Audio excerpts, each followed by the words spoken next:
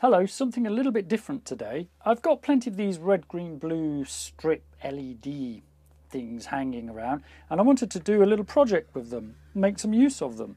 So I found a couple of picture frames and I thought maybe it would be nice if I could put the LED lighting around the edge on the inside and take these pictures out and uh, I don't know, just put some sort of white covering over it and turn them into light boxes that change colour.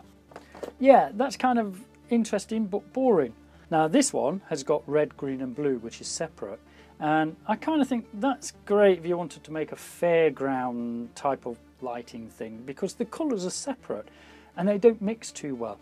However, this type has the red, the green and the blue all in the same module if you wish. So there's more chance that the light will be mixed at source there.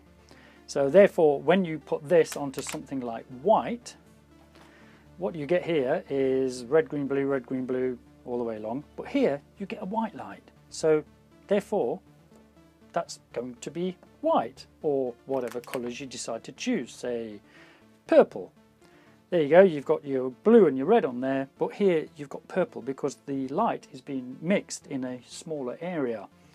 So yeah, I'm going to take one of these picture frames apart and make it slightly thicker, box it in a way, uh, put some sort of cover over the top and see if I can make a lighting box that I can control by voice.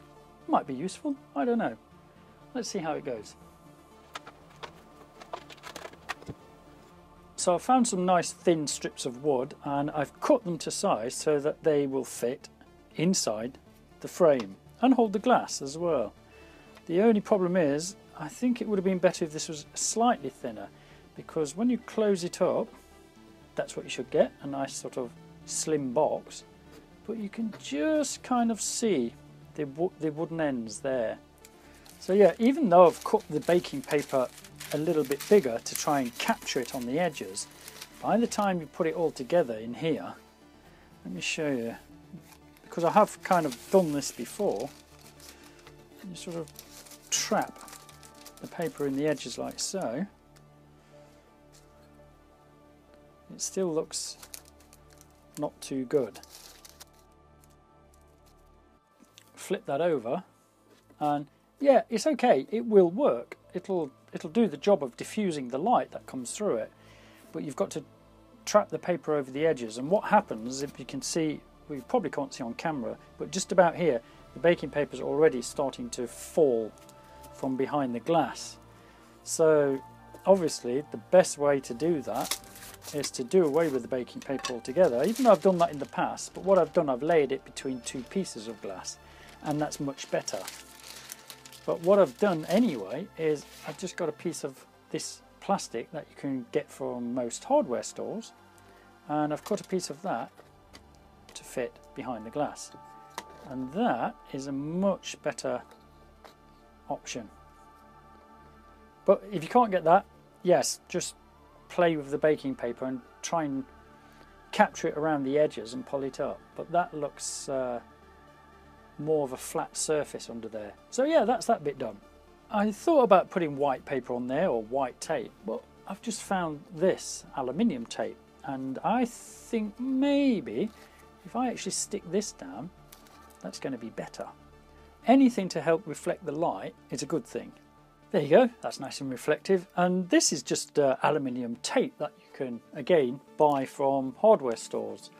So now I'm going to put these edges on and what you mustn't forget, oh I almost forgot, is you need to cut a little bit of a groove in one of the pieces of wood before you nail it into place because you need the wires to come through of course.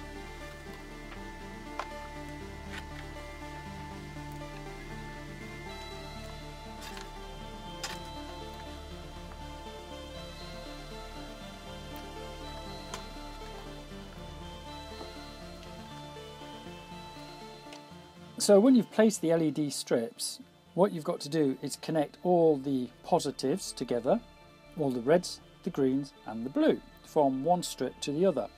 and it, it doesn't really matter where you do it, as long as the green is connected to the green, is connected to the green, and so on and so forth all the way down here. I kind of originally wanted to put them all down one side, but it was getting a bit close and a bit busy, so I decided there's plenty more solder points that I could use, so I just basically jumped in and connected all the reds, the greens, the blues, and the pluses. So, and just uh, test that this actually works. So all the reds, all the greens, and all the blues. Brilliant.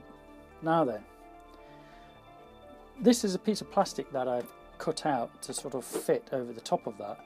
But rather than just make it into a light box, I'll, I'll just show you as a light box, which is quite nice. No, it's not going to come on now. There we go. So yeah, a basic sort of uh, a light box. It doesn't work too good with the overhead camera because you can kind of see where all the LEDs are in there in some sort of a matrix. But uh, yeah, it, it will work as a light box. Hang it on the wall and you know, it gives plenty of light down here. Very nice. Uh, but if I put the original glass back in, and then I actually print out a logo or whatever you want to print out, but print onto that overhead uh, projection plastic. You can then add whatever you like to this. So if I kind of print one out with YouTube on there and one with my name and the little mouse logo, the mouse wearing the headphones, that's my kind of little logo. I've been using that as a, a sort of a signature for many, many years since I was quite young. So that's my kind of logo. The mouse with the headphones on. Now put that piece over there and yeah, very nice. Shows through. Put that piece back on there and there you have it. How's that? A nice sort of little logo that you can hang in the background, make it change colours and things. And yeah, looks very pretty. Not great, but uh, this was this is easy to make, and you can just change those bits of plastic as and when you wish. Now I've got a few more of these uh, red, green, blue strip LEDs left over, so I'm just going to knock together a little bit of sort of I don't know if you want to call it artwork, call it artwork, yeah, whatever. So I've got another picture frame here with a, made a bit of extra depth to it. And I just had a dig around through my old components drawers and found some valves and the old transistors up to microchips up to surface mount components. And I've always liked this chip here. Just move in a little bit.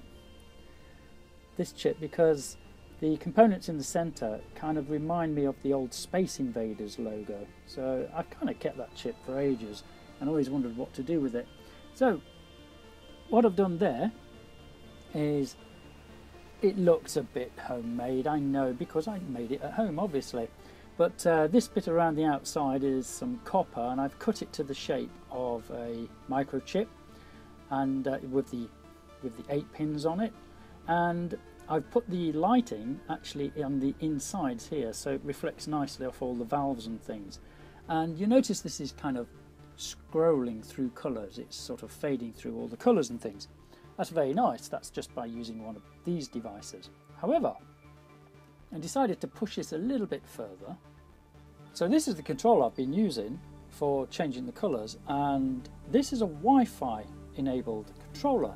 Now these only cost about 9 UK pounds which is pretty cheap really and what you do is you set it up on your phone and then you can control it all with your phone or even better you can control it with uh, one of the Amazon devices.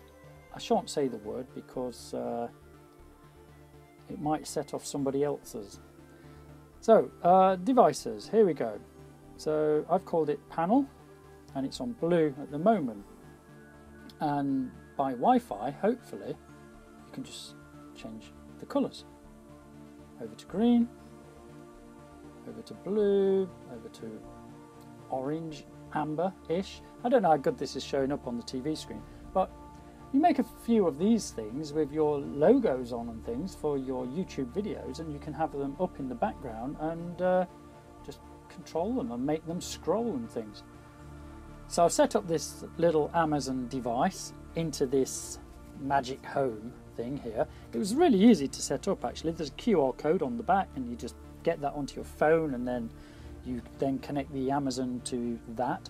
I'm not going to say the word in case I set anybody else's off, so I will mute the, uh, the keyword out for this. But let's try it now anyway. So this is going to be controlled by this. So, muting. Make panel blue. Okay.